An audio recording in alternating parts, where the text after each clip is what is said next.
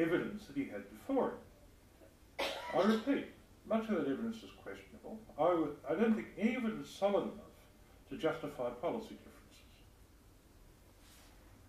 If it were true, it'd be serious to look, it'd be necessary to look at.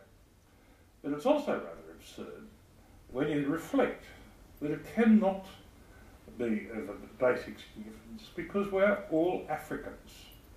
Humanity originates in Africa.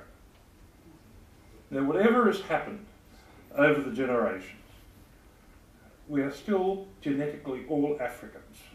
It's just silly. I mean, I, I read that book, The Bell Curve, uh, yeah. which argued that, uh, very, with a lot of uh, graphs and all sorts of evidence, that you could rank Americans in terms of IQ, Asians at the top, whites in the middle, blacks at the bottom. But then I, then I saw something which was very intriguing. I don't know whether it was in that book or somewhere else. And that was that those blacks who came from the West Indies had a higher IQ than the American blacks, which had something to do with the fact that they were treated differently. They were liberated much earlier, they were treated much more equally, and this suggests that if there were a differentiation,